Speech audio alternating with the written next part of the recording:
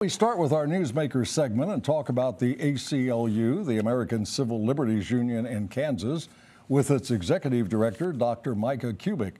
Kubic is departing Kansas soon to take on a similar post with the ACLU in Florida. Dr. Kubic, welcome to Ruckus. Thanks for joining us. Thanks for having me. So, what are the essential civil rights the ACLU defends?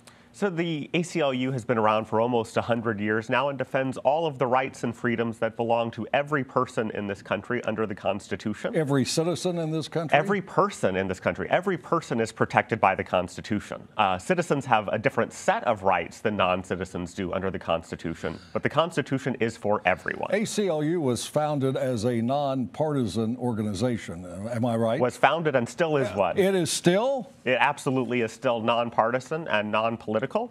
Uh, we have a point of view, we have a perspective that we seek to pursue. Does that point of view more often than not coincide with the Democratic Party view? I don't think so. And I think if you asked uh, President Obama, who we sued multiple times, he would probably uh, disagree with that proposition too. Uh, we've sued every single president uh, since we've been founded. I'm pretty darn sure we're going to sue every one of them that comes in the future. And, and the civil rights that we have, that extends to everyone, regardless of party affiliation. Oh, absolutely. Or no affiliation. Absolutely. Democrats, Republicans, socialists, communists. Absolutely. Everyone independents, has, has whatever. rights and freedoms in this country, and, and we work with them to protect and them. And the ACLU historically has defended people that you and I might not think of as the good guys or that's you right. might think of as a good guy and that, I don't, or that's vice right. versa. Every, everyone has certain rights in this country, and they deserve to have them protected on, on the basis of their humanity, not on the basis Certainly of their political a famous views. one was the uh, March of the Nazis in uh, was Skokie, Illinois. That's right. The, a, a town where many Holocaust survivors lived, and yet the ACLU defended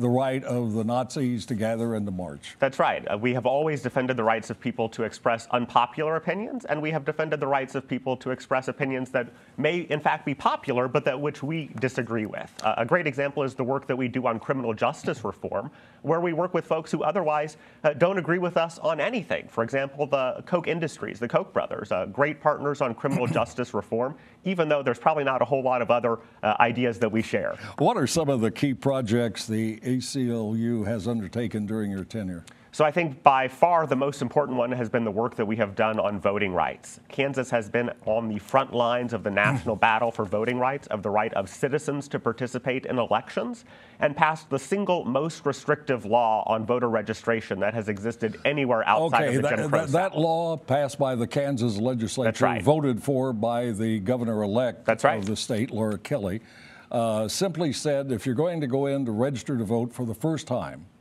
you have to prove that you're a citizen of the United States and therefore eligible to vote. Is that right? I would disagree. It, it, what, what, was the premise of the So law? it was that you had to produce additional documentation and paperwork beyond we, anything that any other state had ever done. So in every well, state, you have to prove your citizenship by signing a legal it? affidavit. But you don't have to produce a document. You can just That's sign. Correct. That's correct. A, a document legal... saying, yes, I'm a citizen. What if you're not? Is that investigated after you vote? So you are signing a legal affidavit, and if you sign it incorrectly, you are committing perjury but, but who and guilty checks, of a crime. Who checks to see if you signed it incorrectly after you've cast your vote? So we know for a fact that voter fraud of that kind is very, we, very How do rare we know that for a fact? Because we have done uh, decades of investigations about it as a country. Secretary Kobach in Kansas was the only Secretary of State in the country to have prosecutorial power. He used every ounce of energy he had to try and root out uh, this sort of fraud and still came up with, uh, I believe at last tally, nine instances. Well, well that's a pretty Kobach is not the only person in the country who has the opportunity to look at such things, who says oh, sure. there are a lot of votes that are counted that are illegal votes.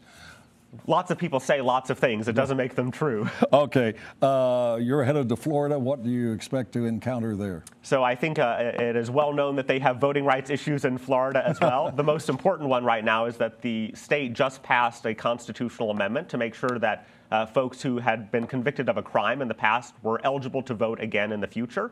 And now we have to make sure that those 1.4 million citizens uh, who have been given the opportunity to register have their rights to protect it. Anybody who's interested in learning more about the ACLU, how do they do that? They can find us at www.aclukansas.org.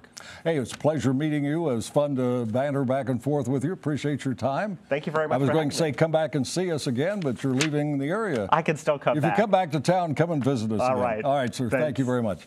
That is Kansas ACLU Executive Director Dr. Micah Kubic. Now let's meet the panel and start a ruckus.